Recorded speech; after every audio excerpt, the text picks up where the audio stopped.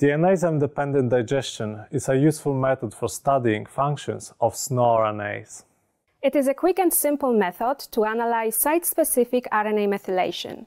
It requires a short DNA oligonucleotide and basic reagents present in any molecular biology lab. Begin by designing the DNAzyme for the sequence of interest. Find the RNA sequence or putative methylation site using an appropriate database.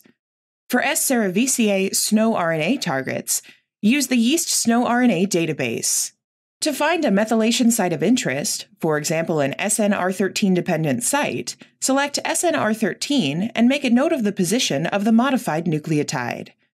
Find the sequence upstream and downstream of the modified nucleotide using an appropriate database, such as Saccharomyces genome database.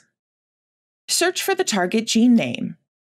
If using a 10 to 23 DNAzyme assay, select 10 to 15 nucleotides upstream and downstream of the methylation site. If using the 8 to 17 DNAzyme, select 20 nucleotides.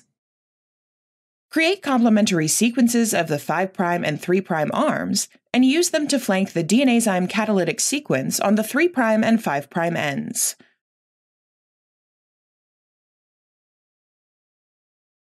Order the DNAzyme as a normal DNA oligonucleotide.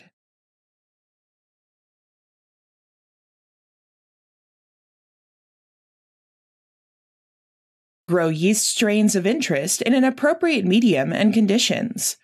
When cells reach middle exponential phase, pellet them by centrifuging at 1000.